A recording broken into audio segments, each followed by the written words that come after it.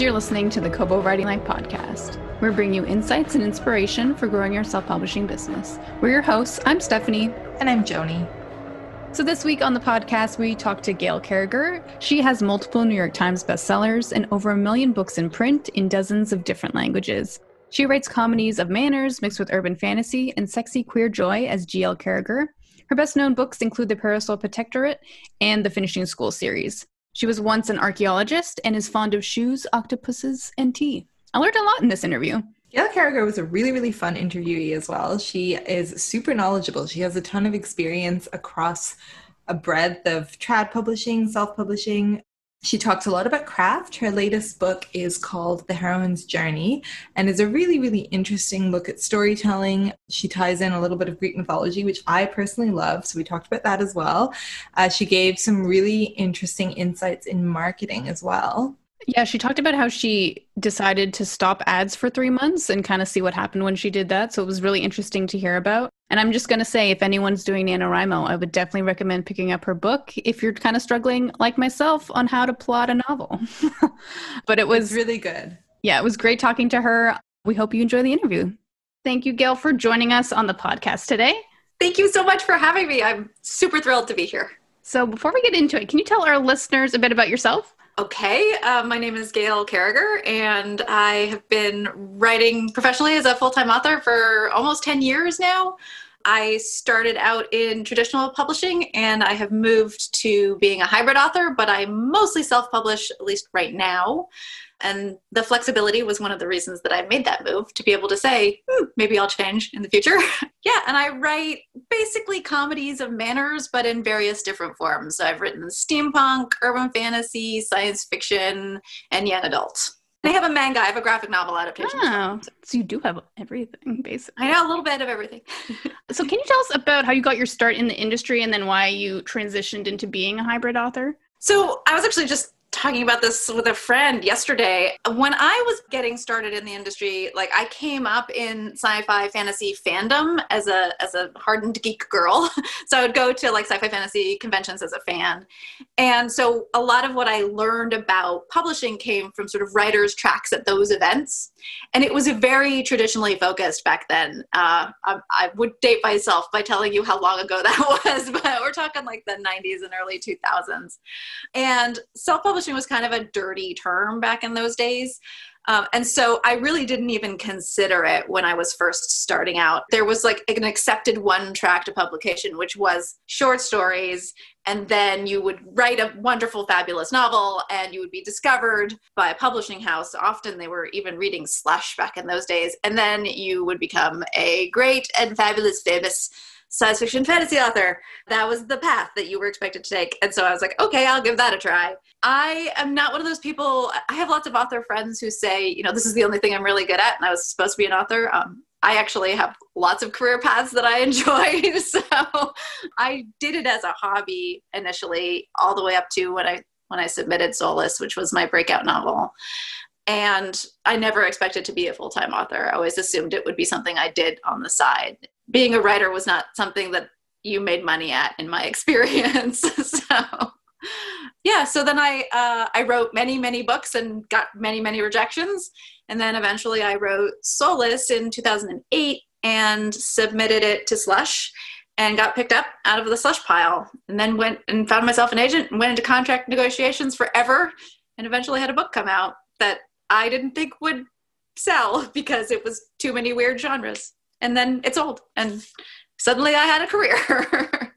Before you were a writer you were an archaeologist is that right? That's right. I was about two years out from getting my phd when Soulless sold, and then when Changeless hit the New York Times, and the sort of seed change happened at that juncture when that book basically broke out which was the second book in the series. And then eventually I was sort of just forced to pick between the two because in order to keep the momentum going writing wise, uh, I couldn't also write a PhD thesis and teach, you know, university students. And so eventually I was like, okay, I guess we'll give the writing thing a try. And I went to my PhD professor and I was like, could I take a hiatus for a bit?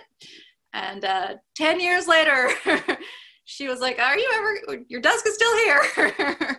She um, even left your desk. That's very good. yeah, I actually went back and taught a couple of courses as an adjunct fa- faculty member because you know when you become a specialist and eventually like, you're like the only person qualified to teach things in the area or whatever and i was like sure i'll come back and teach and occasionally i still get a ping for a consult on like areas of my expertise so to speak but i don't i don't go to the field anymore or anything like that it's very cool so what novel did you decide to self-publish so I self-published short stories first. So I had a bunch of short stories uh, published either under a different name or unpublished that I like reworked and stuff. And I actually recommend if you're an established author or even if you're just starting out that you test the waters of self-publishing with short stories because they're more flexible and you can be forgiven for making mistakes in them and try different cover art and that sort of thing and it's it's a low you know price of admission basically and that just got me used to how to upload to the different platforms, how to format, like the process of finding cover art, all of that sort of a thing, and make mistakes along the way. So I did, you know, four something short stories, which have since been like taken back down, reworked, put back up, you know, that kind of thing. And then the first book I self published was a novella that was set in my universe. So I have a, a now broad verse called the Parasol verse, which is my steampunk universe, which has about 30 odd books in it at this juncture, something like that. And I chose a possibly irredeemable character, so a really not popular character. And I wrote a, a novella length work for her and then published that. So it was in my universe, which was my popular universe, but it was a character who, who maybe like people weren't sure about so that i could like again so that i could make mistakes and not upset too many readers um, people really liked the the book anyway. I managed to redeem her yay i guess. And that's how i proceeded. I, I wrote quite a few novella length stuff and that's for contract reasons set in the parasolverse because if i write longer than novella length i have to submit it for under my option clause to my publishing house. And so i just write under the length that, that keeps me under that cap which is like one of the great blessings of my career as it turned out very early on, I had a contract that fell through for that first book for Soulless because the option clause was too broad and because it was an academic at the time. And the option, the, the publishing house wouldn't relax the option clause. And for those who don't know, the option clause is the rights that the publisher has to the next thing you might write. And you, as an author, want that clause to be as tight and narrow as possible. So you have as much flexibility to write other things, either to self publish or to go to a different publisher with them.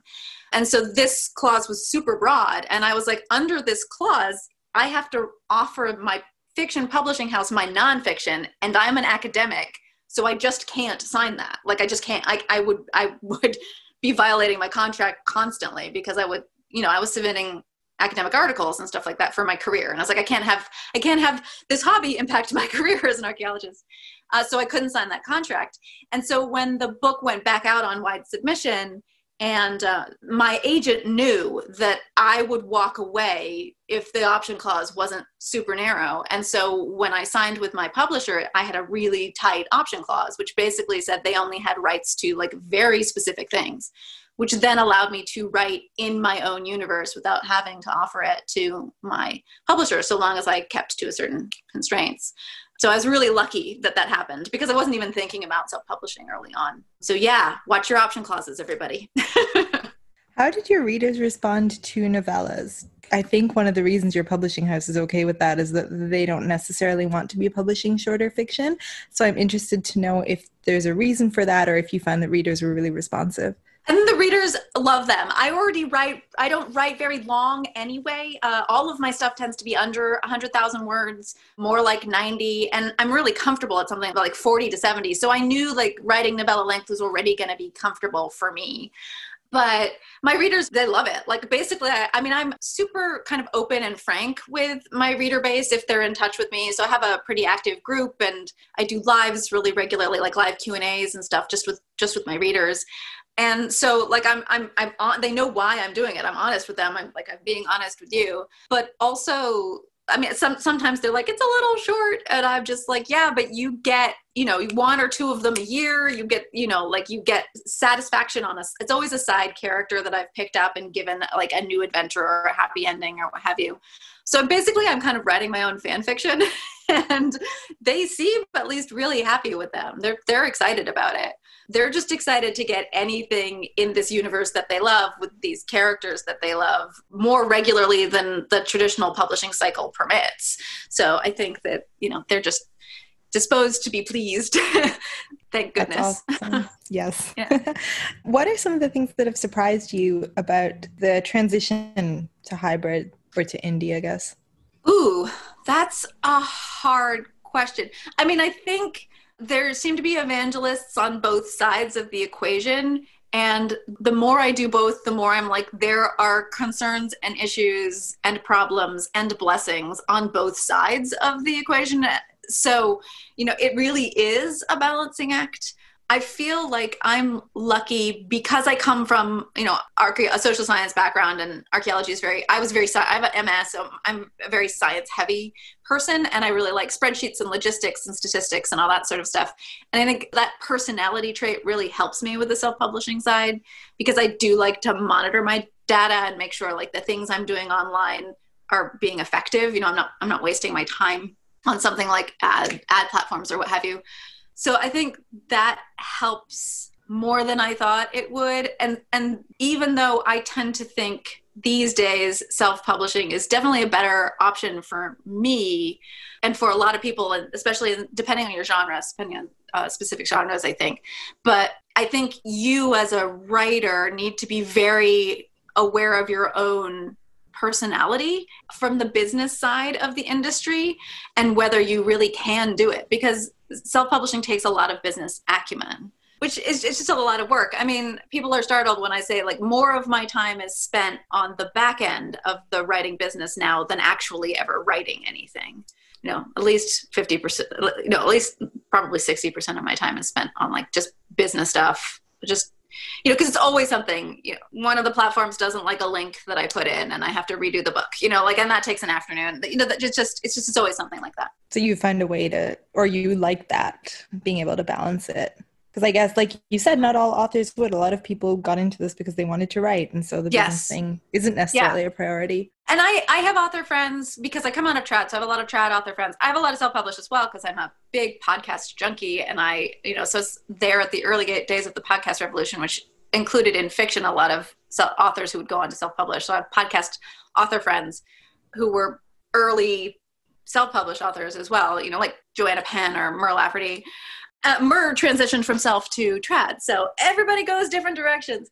I happen to like the business end and I happen to, and that just just works in my favor so far as self-publishing is concerned. But I have author friends who are traditionally published and always have been, you know, who will sidle up to me at a party and be like, "So, this newsletter thing." And I'll just be like, "What year are we in?" Like, I know you're trad, but you might have wanted to think about a newsletter a little, little, little bit earlier.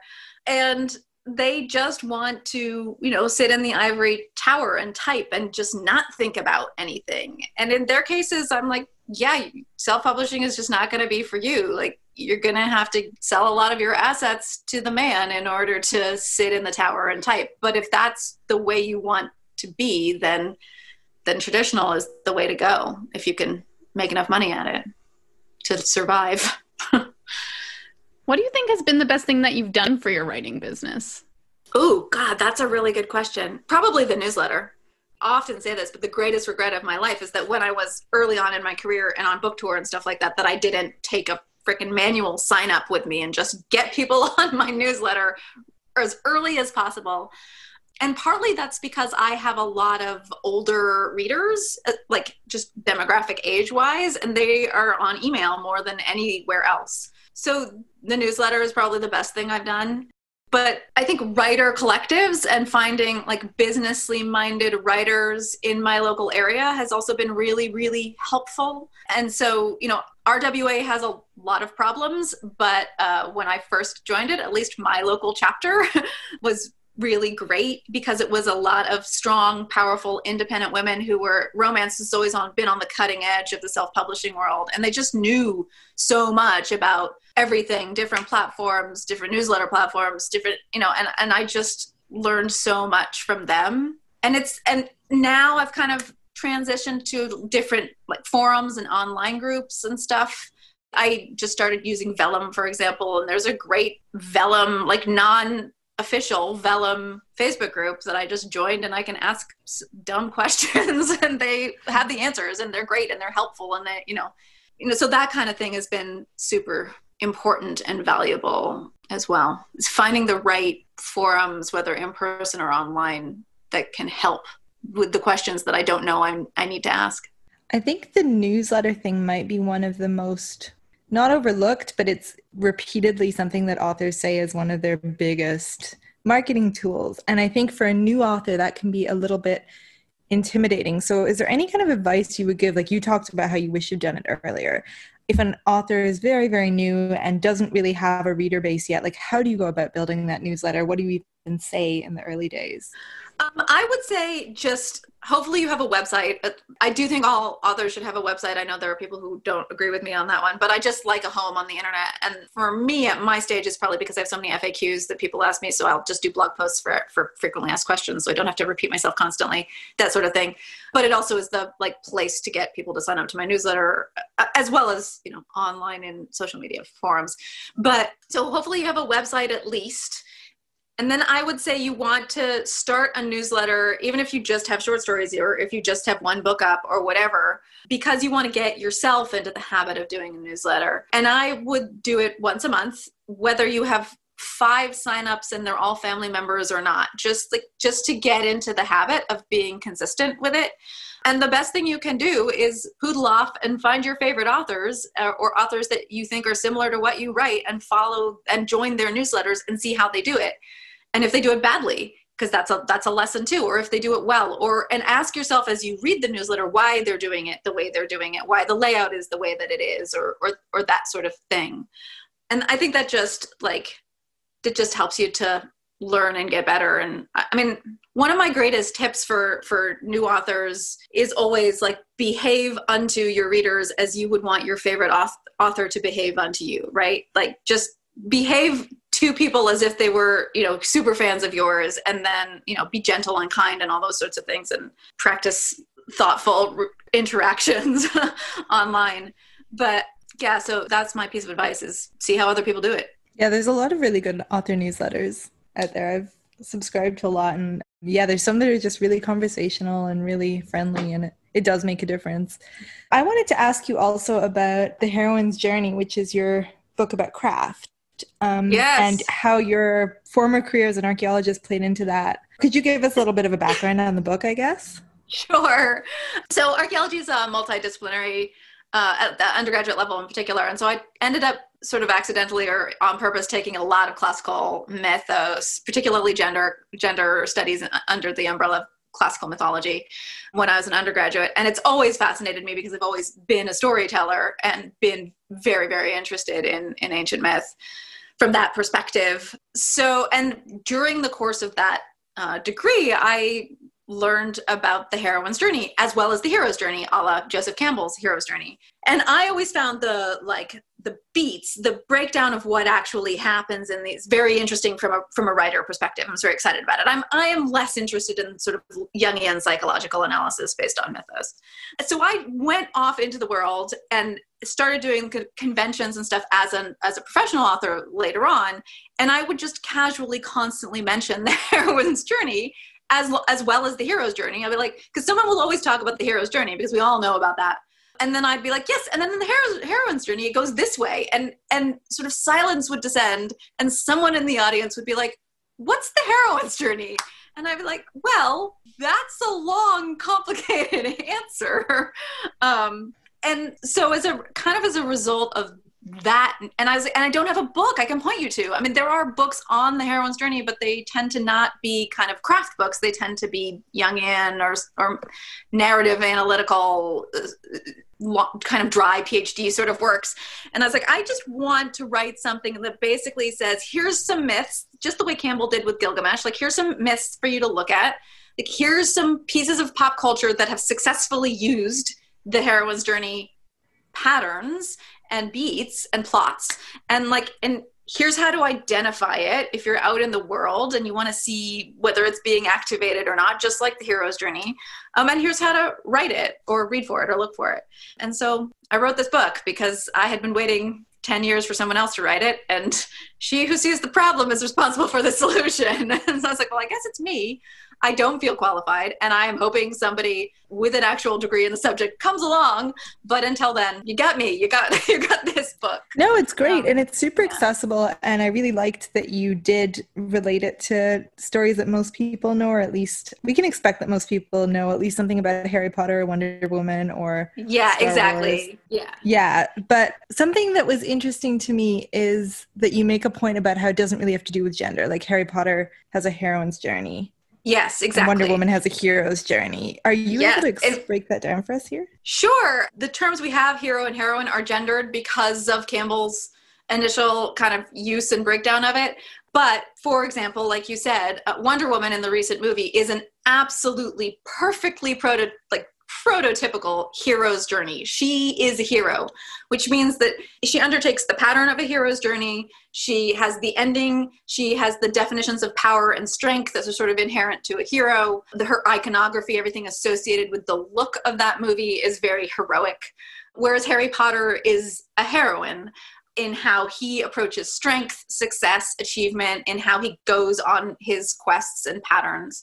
Um, so even though he is a he, um, he is a heroine under the auspices of this journey. If you're if you're looking at the heroine's journey as a as a breakdown of narrative. And that's different from how if you're a writer and you're writing a book with a with a gendered sexual mass male main character that you would call him a hero so I, I, make that distinction in the book. It's subtle but it you know it has to do with the constructs of gender being social constructs and these narratives are social narratives. So therefore yeah there's a there is a difference between what biological sex your character is and what journey they are on. I guess i wonder what would you classify a successful journey that a writer has completed like when you're reading something or watching something where you're like this oh. is a oh. successful portrayal of a character's journey like this is a well done oh. story kind of thing well that's kind of part of what the the book is talking about in a way and i'll take the i'll use the hero's journey as an example because everybody knows it or most people know it the point is is that it gives you a structure and so you can either satisfy that structure, which to a certain extent satisfies the reader. There's a reason readers read for the hero's journey and they enjoy the hero's journey. You know, like suspense novels are, are often hero's journeys. Um, and they like that. They like that sense of excitement. They like that sense of like solitary individual fighting the good fight against possibly overwhelming odds, right? You, there's certain things that are really appealing psychologically about the journey. And so as a writer, you want to know and tap into those in order to provide a satisfying experience to your readers. And the same holds true for the heroine's journey. If you're writing a romance or if you're writing a young adult novel that is about friendship and belonging and finding your place in the world in the sort of Bildungsroman sense of it, then you are writing towards a networking situation. You're writing success is in groups, figuring out how to solve a problem together. You're writing a different different ideas of strength and so it behooves you as a craftsperson to know what the foundation is in the form of the heroine's journey so you know whether you can write that narrative in a way that satisfies your reader or watcher if you're doing you know a screenplay or what have you. And so yes yeah, so it's just foundational knowledge base but you can also be satisfying a reader by breaking some of these rules or by twisting them or by subverting them or writing a tragic version of them or playing with ideas of what happens when you put a hero archetype into a heroine's journey. How do does the heroine of your heroine's journey bounce off of a hero with his heroic agenda within her narrative and vice versa? So like knowing all of these things allows you to play with reader expectations in the reverse as well and then you can activate surprise or comedy or tragedy. And again like what are we authors but machiavellian manipulators of emotion? Like that's what we want to have access to. So if you know these like mostly subconscious expectations that are essentially the foundations of all of these different genres commercial genres in particular in fiction then you can better like break or satisfy your readers ex- expectations and and definitely there's like native talent with writers where you just write this automatically without even realizing it. In fact, I, I hypothesize that Harry Potter I don't think Rowling is familiar with the heroine's journey. I'm not making that claim. I don't know. I haven't talked to her, but like, um, but the fact that it satisfies all these beats, I think, is one of the reason that it's such a satisfying narrative to consumers of that particular journey. Whether the consumers know that's what they're looking for, and when the writers know that's what they're writing. But the reason to know it is to know, you know, like if you know the expectations and the beats of the different journeys then you can get yourself out of writer's block and you know that sort of thing as well. Because you can be like well the solution for a challenge in plot when you're writing a hero's journey is different from the solution when you're writing a heroine's journey. You have different toolkits in place depending on which journey you're approaching do you have a favorite Greek mythology story or character? I do. I go yeah. There's I so I do three heroines' journeys in in the book. I do Inanna, Isis, and Demeter. And Isis is my favorite without question. Um, I love the Isis myth so much. And it, I think it translates to my silly retelling of the, the myth in this book because I just love it. It's, it's just such a charming myth.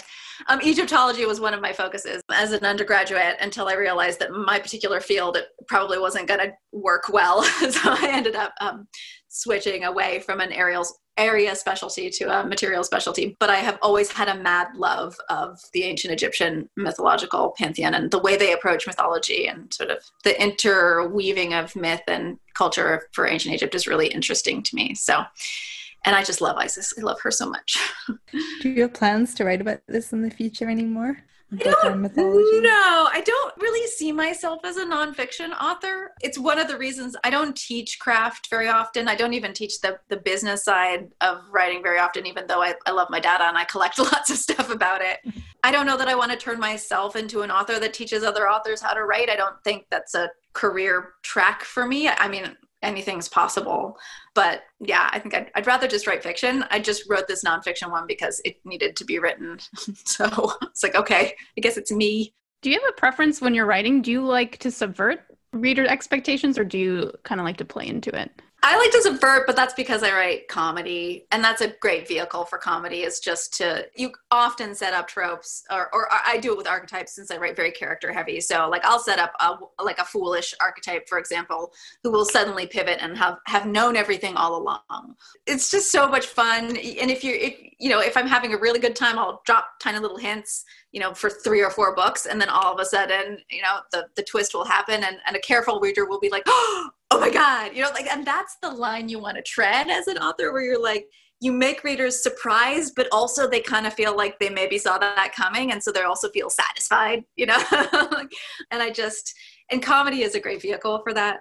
So and and parody and i write both those things. So um yeah but i also love me certain tropes and will satisfy them always you know like I, I i am a happy ending girl and i want my characters to have happily ever afters and i want them to have you know connection whether that's a big friendship group or or a partner or, or you know or a group of friends like whatever it is it's so i always satisfy that part of us what is would be a pretty standard heroine's journey which is everybody like there's a together scene at the end you know there's a sequence of connection at the end so I, I, do play into it sometimes as well. I think you make a really good point about the ending, any kind of twist needing to be satisfying. Like, do you remember? I just rewatched Gossip Girl. Do you remember that whole thing where they reveal who Gossip Girl is, and it's just it doesn't make any sense if you were to go back and watch it.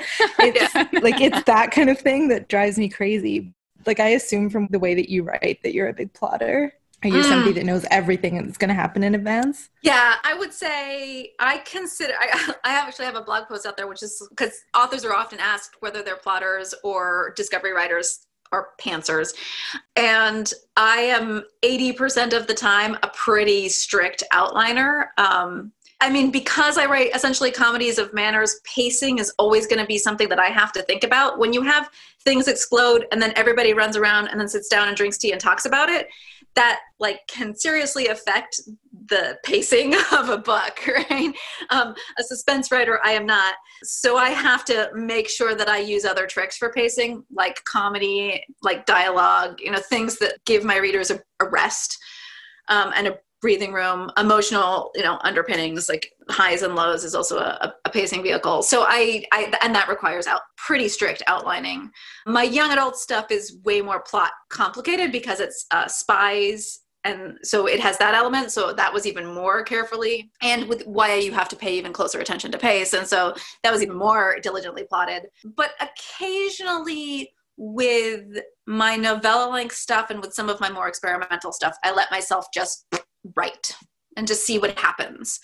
And partly that's because after about 30 books and 10 years like some of the outlining strictures are kind of ingrained into my psyche so i sort of write that way anyway. But i do that knowing that those books are probably going to require some serious editing later on more editing than i really should i, really should have plotted. Them but most of the time I, I am an outliner yeah.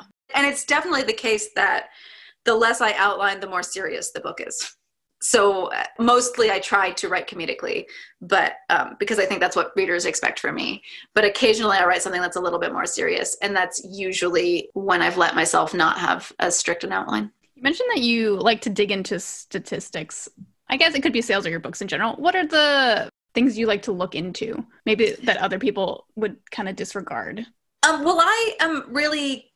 I think I think a lot of authors, either professional or hobbyists or, or what have you, need to get better at valuing time, at, at putting an actual value on our time. And so, like, there's a am i using my time my time in a way that makes up for the fact that i'm not actually writing because almost always i should actually be writing something right and so for me that translates into like the time i spend on twitter x number of hours like does tweeting out that I have a new book on Twitter actually have any effect on my sales. So I need to be able to track that and figure that out. so I will then spend hours trying to figure out whether 20 minutes on Twitter is worth my time or not. So in the end, it, it kind of maybe doesn't actually work out, but I feel better if I know.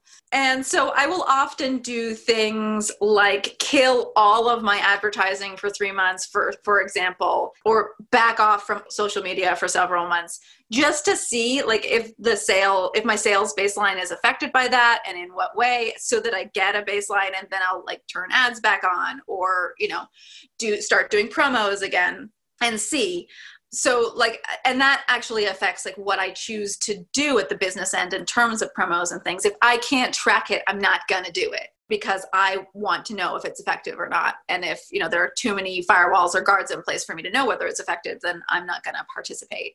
You know, so so that's the kind of approach I take, and that's because I am getting and trying to be more and more and more aware of valuing my own time because I don't want to waste it.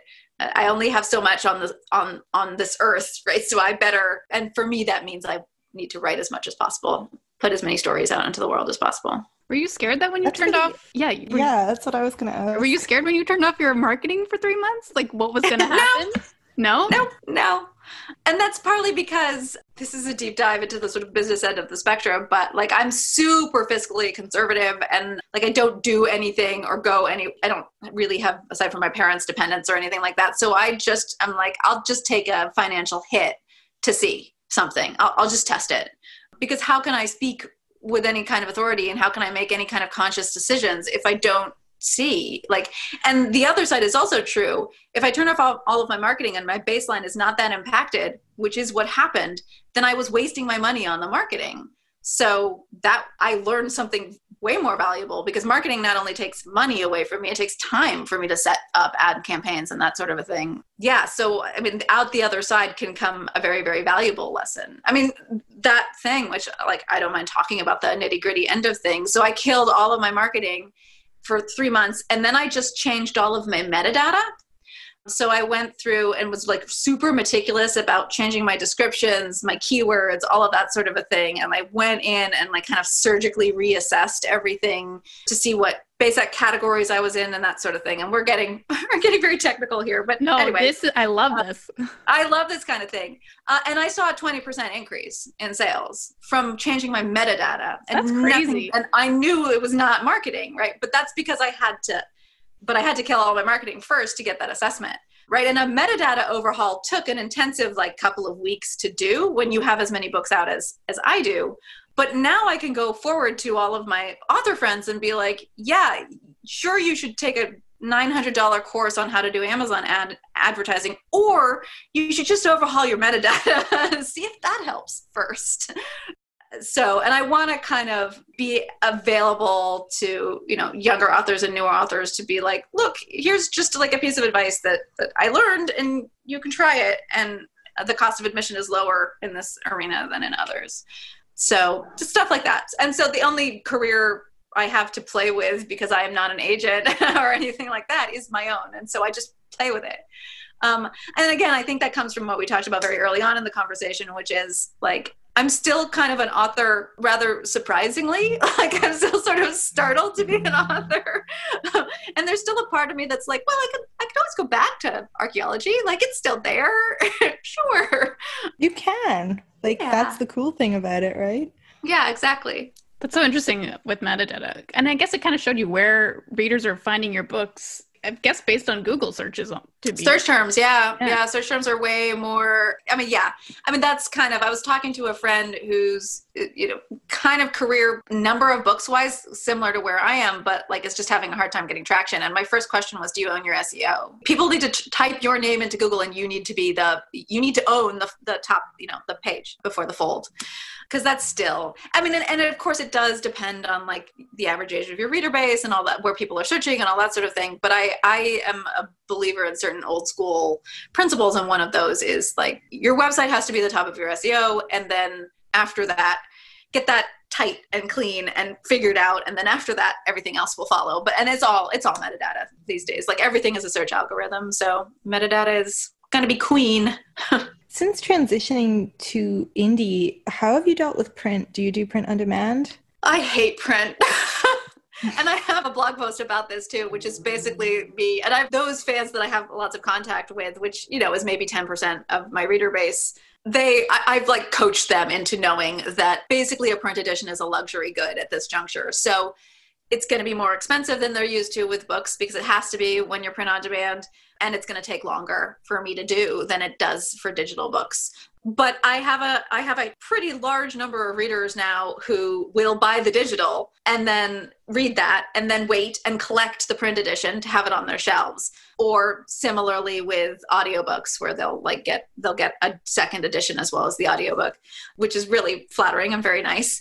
Um, yeah. but yeah print editions are pretty much when you're when you're self-publishing. Even for me who i get quite a quite a few orders they're really not worth the money. They're such a hassle. And they take and right now they're taking forever to get proof copies out. And you know you have to look at a physical proof which means you have to get the book.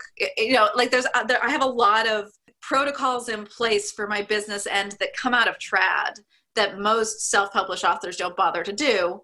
But you know i sold first and best in print because i am a traditionally published author. And so i have a lot of print readers. So just to keep them happy i have to do print editions. But that means that i have to have a finished ready to send to production manuscript, manuscript, two months before the drop date and stuff like that, which most self-published authors don't bother with. But it just means I have to line up my developmental edits and my copy edit. I have to get all of these things well ahead of time. So I kind of, in that regard, act still like a traditionally published author where you know and my fans hate it because they know that a book is done you know like a month or two months before i actually publish it. But i'm like print editions you know if i want to try and time the two as close as possible then you know i have to get it off to ingram really early on. But man is it a pain. I'd love to know is there anything else that you've carried over from your beginning in trad and taken with you or thought that it works well so why stop that is a great question. Well, I think I pay because I'm I think wide is something that came out of trad paying very close attention to the international market so not just the American market is something that I brought with me out of trad because I've done very well in translation and I've always sold really well overseas as well as in the United States I always try to make sure, for example, that my price points are consistent for uh, foreign markets, for example. So I sell very well in Japan. So I want to make sure. So I take a look at what the price points for my traditional books are in Japan because they're still on sale there. And then I try and match those. I've always been very experimental for a trad author. So, um, and my publisher and I have a good relationship in this regard. So, like, the, I was one of the first authors that my publisher put into a book club, for example. And I was one of the first, and I fight really, really hard to make sure that my backlist first in series books are, are at a lower price point electronically. Um, and occasionally I will be like, agent, remind my remind my traditional publisher that my ebook prices should be lower, uh, please, because that gets new readers pull it, pulled into the backlist for me anyway. And maybe that's part of what I brought with me as well. I mean, traditional publishing it can be very, very frustrating from an author end because they don't listen to us most of the time. But that, as far as I'm concerned, just means you get more stubborn and you just keep asking them.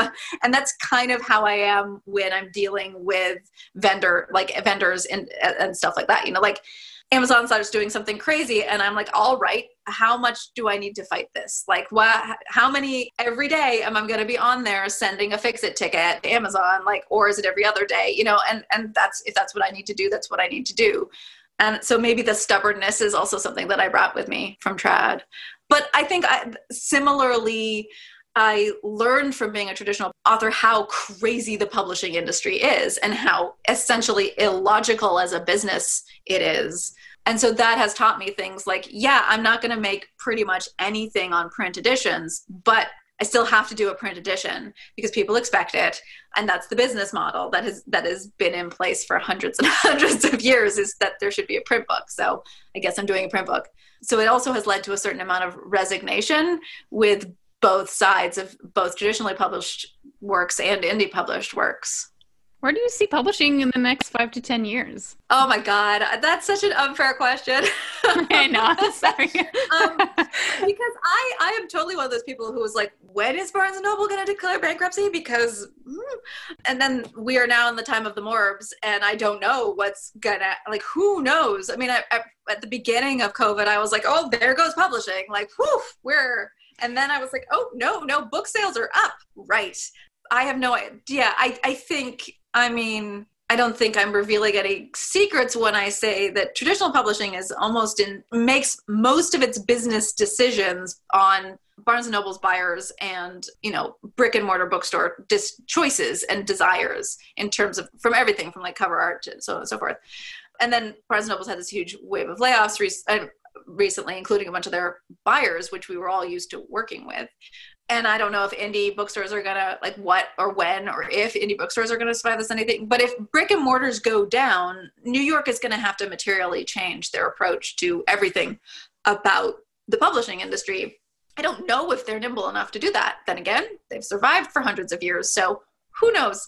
But there's still like i mean i was just talking to my agent recently and she's like they're still acquiring and things are still going on and i'm as busy as i've ever been. So maybe the publishing industry is going to keep going as the same as ever out the other end of this but i honestly have no idea. It's actually i mean one of the reasons that i have been pretty public about the fact that i'm not entirely sure i want to write another series for trad right now because i don't know. Like and i don't want to get locked into a contract only to have that publisher go under and have you know all, that contract caught up in like bankruptcy proceedings or something. So i'm just so nervous about what's going on with traditional publishing right now that i kind of have backed way off uh, to sort of sit on the sidelines and see. And i have the luxury of being able to do that because i self-publish as well.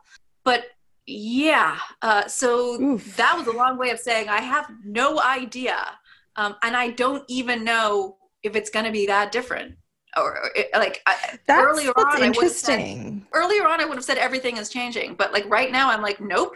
Now they're doing fine, and publishing's instinct when they're doing fine is to be like, okay, go with the same patterns we've always had in place.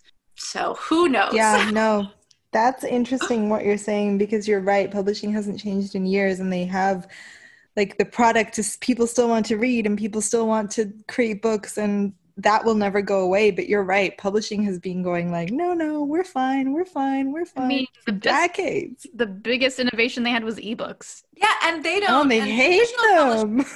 and traditional publishing doesn't hasn't figured out how to do ebooks properly. Like they they're terrible at it. So, you know, and yeah, ebook sales have gone up, including in traditional publishing recently.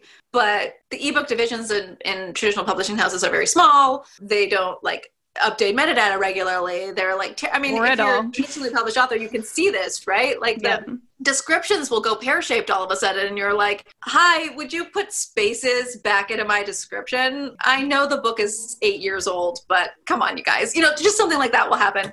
You know, so they don't even have like personnel that are maintenance personnel for all of your assets which you need to do in these days of you know algorithms. You know one of the vendors will change how they display everything and everybody you know all your descriptions go pear-shaped. And you know as a self-help author we get a notification and we're like okay boop, boop, boop, and i fix it. Trad just siphons it off down to an assistant level or something and it never gets done it kills you know, me that they never fill out their series information for a backlist series. I'm like, why would you not do that? yeah, why don't you? You have access to series pages. Like you have, you've been granted that like privilege. Like take a bit. Nope, no, I'm not gonna.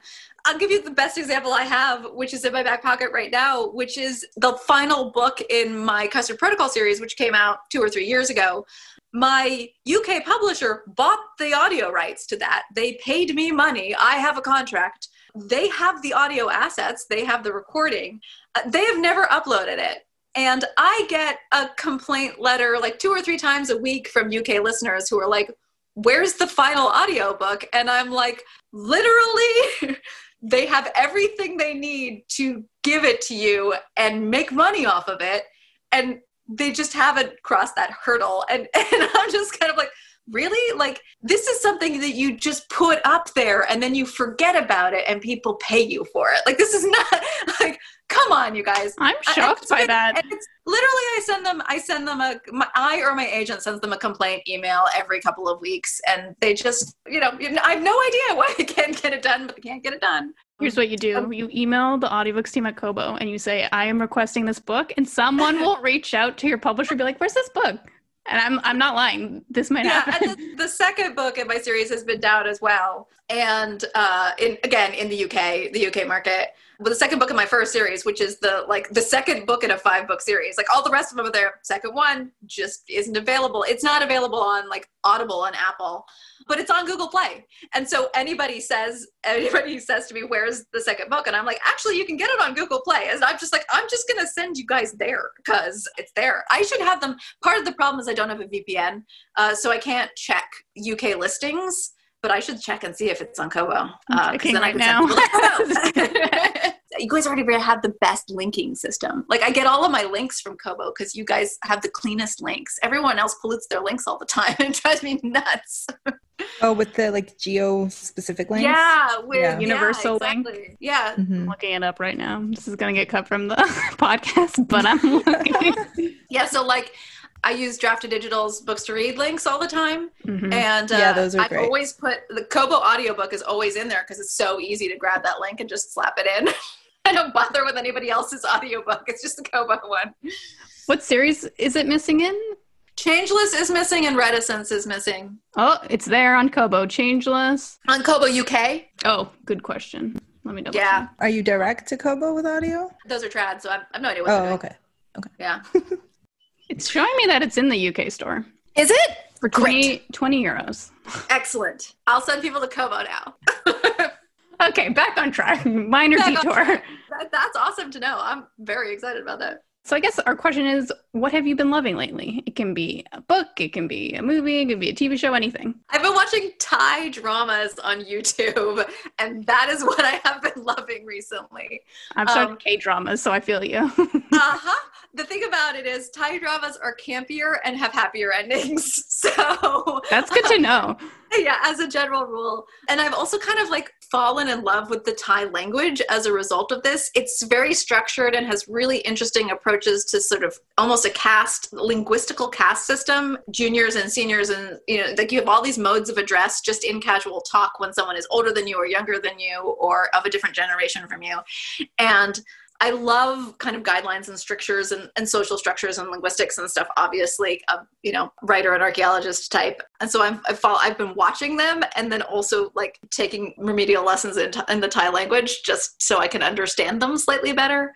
um, there's lots of nuances of humor in whether you you're using formal or informal address that you don't get if you're just reading the captions so yeah that's what i've been doing recently what's the title of the drama this is the problem is i hesitate to rec- recommend them because the captioning is universally pretty bad. So okay. there's a lot of like me rewriting what i think they mean to say in my head as i'm reading the captioning. And also like the definition they're not they're not great like high def. But one i really really enjoy and would recommend is called until we meet again which is a um, gay romance about reincarnation but it's really cute and uh, really sweet and very interesting in terms of both the language and sort of the cultural mythology that's being used. They have the red thread. I don't know if you know that from Asian culture, but this idea that you can tie someone together for eternity with a red thread but I have to say, trigger warning, big time. so, in the initial sense of the word trigger.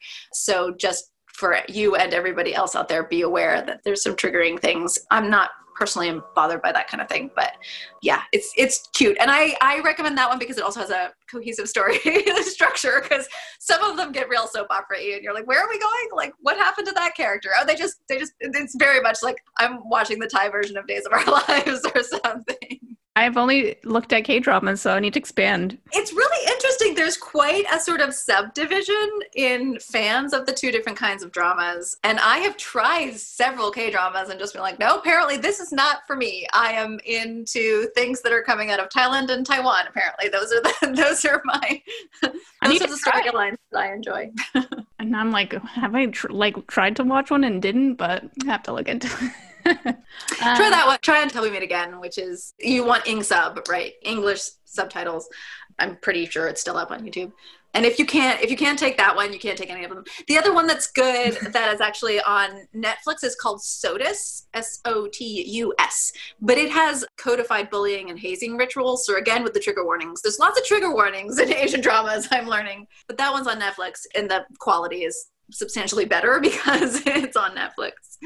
So those are those are the two that I would recommend people check out. And if you don't like if you don't like those two because they have the least issues in terms of like story structure but also technical explicitness and oh. also oh. like there are certain things that the western mindset finds a little like puppety or panto-y like cartoon noises when oh, really? you know there's a comedic moment or a slapstick moment or whatever whatever. And like and there's a thing that Thai dramas in particular do which is like if it's an emotional m- moment that music is going to swell. Like you are going to be beaten over the head with the audio that this is a very powerful and emotional moment. And if that kind of like heavy-handedness from our perspective doesn't work for you as a consumer then you're, you're probably not going to like them.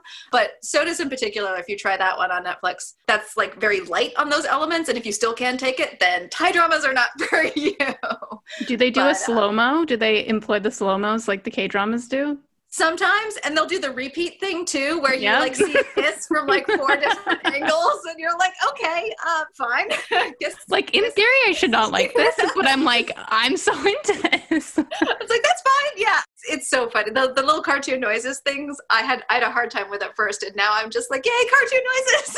now I'm like, I think there's a, a Brit, you know, like my British side is used to panto, and so that's the part kind of gets activated. You know, like I'm I'm watching an old guard Punch and Judy or something. I'm like, okay, the violence is not really that violent, right? It's like it's weird. It's it's and that's but that's also part of the reason I enjoy it is I like to look at I'm a big traveler and I can't travel right now. And so I, I love to look at sort of like different cultures' approach to humor and what's funny and romance and what's what's like intimate, like definitions of intimacy across different cultures are, is super interesting to me and also pacing. Like I, I watched the Chinese drama Eternal Love, uh, which is also on Netflix, which is like I don't know, 56 episodes or something. You don't even meet the love interest until episode 30. It takes forever. Like you are in it for like 45 episodes for a hand touch, or if you're really lucky, a forehead kiss.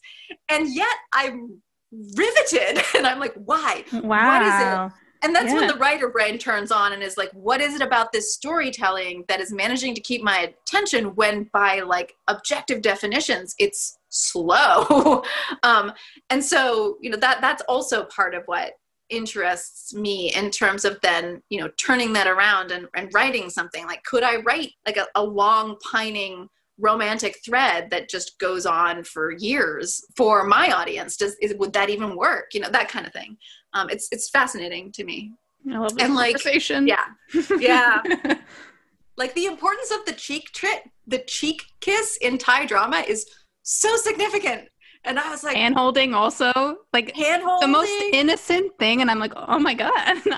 yes, but but like once you're in it and you started watching them, like you find yourself being like. Oh, they almost held hands, you know. I like squeal. Joni, you need to get on this because I'm I'm telling you, I'm like you keep telling me to. No, you got two Asian drama fans, and we're gonna just keep talking about it. and this is like a new, like a, in the last what four months, I, I like dove in th- yeah, three dramas. pandemic thing. yeah, me too. I did not do really. Yeah, and one of my um my best writer friends in the whole world, Piper Drake, is Thai, and we have been talking about traveling to Thailand forever. One of the great things about Asian dramas, but Thai dramas in particular, is that food is hugely important. This kind of ties into the heroine's journey actually, because it's an act of like, it's often a family thing or a group of friends, it's often communal. So it's this like huge moment of intimacy. But like gifts of food are a huge part of courting rituals, like snacks and stuff. Um, but also like um, if there's a couple and they're like trying to hide it they will like accidentally put food on their on their relationship's plate and then like kind of everybody knows there's something going on with the two of them. You know there's like little things that happen in group food settings and and i'm obsessed with food anyway and i'm obsessed obsessed with thai food. And so so piper and i have been planning this trip for ages and now i'm just like we have to go. Like the moment we can like we have to go because the food ah I did notice food too, and I kept being like, "Why is it so weird that I'm seeing them eat?" Because you time. never see that in like a Western show. Never, like you almost yeah it's it's really interesting isn't it whereas if you're watching asian asian dramas any asian dramas you're going to see people eat at some point like there's going to be food which is as far as i'm concerned fantastic i wonder i'm i'm um, i'm obsessed with what people eat for breakfast in places where breakfast isn't this like codified stricture of specific foods because I've never understood that one. I mean, I like breakfast foods as much as the next person, but like, why not have, you know, savory porridge for breakfast. Why not have congee? Like, who says you can't do that? You know, it's so much fun. I love this talk. It's just been too long since I've had Thai food now. Remember when we could go out places? We're back on track again. So when can readers expect your book, The Heroine's Journey? When does that come out? No, it comes out, out October 1st. Um, oh, it's not out. Yeah, October 1st, soon, very, very soon. And before you ask, I'm trying to get the print edition out at the same time because um, it's like the number one question I get. I'm also right now looking for a narrator for the audiobook, but that will probably be later than the print and the um, digital. But the digital is available for pre order if it's after October 1st both the print and digital should be there um, and the audio is coming. Perfect. I want to find a, it's hard to find a narrator that's like has the kind of voice that i really want but also is willing to do nonfiction. So the narrators i can't use I, I have a you know back pocket full of regular narrators that i love to use and i'm actually looking for somebody new. So it's taking a little bit more time than normal you consider doing it? I'm assuming no, because you're talking about um, narrators. But I feel like it's the kind of thing that the author, an author, narration would work really yeah, well. Yeah, and talking of Joanna Penn again, she narrates her own nonfiction, which I think is good. And there's definitely, it's definitely me talking like the the start yeah, it's of the, very conversational. It's very conversational, and the start of this book was actually as a presentation, and then I basically dictated the presentation and then turned it into a book essentially. Yeah, I could do it, but I just don't think I have the skill set. I think you need to. I I like to hire professionals to do things, so that's yeah. Like I, it's like i know i could change the oil in my car but i'd rather get someone whose business it is to do that do it. Also i kind of when think you put it like that yeah. Also i kind of think it's my responsibility as an author to hire other freelancers to do stuff when possible when when it's not in my skill set. Where can readers find you online yeah, you can find me at gailcarriger.com. Uh, but if you search Gail Carriger, all things me kind of turn up. If you want to ask me a question or communicate with me directly, there's a calling card feature on my website, and that's the easiest, fastest way to do it. I am on social media, but not very often. And so my response times are just slower on social media. But I'm pretty responsive to calling cards. So you'll get a reply quickly that way. Um, and that's also where you can find my newsletter if you want to see how I do it in order to decide whether I do it well and whether you want to imitate my, my style or not. And all of my books and everything else is all there. So. And also, there's a resources page that I have a tab on. So if you are a new author or a more established author, there's links not only to stuff that I've written on the subject, but also other people that I think are really good. So you can check that out too. Awesome. Thank you so much for talking to us today. Thank you so much for having me on. And I'm sorry we got sidelined. No, I loved it. oh, this was great. Thank you.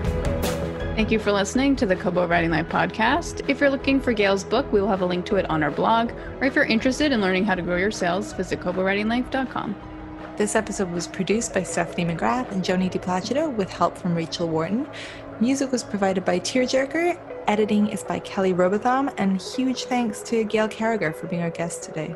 If you're ready to start your self-publishing journey today, sign up for free at kobo.com slash writing life. Until next time, happy writing!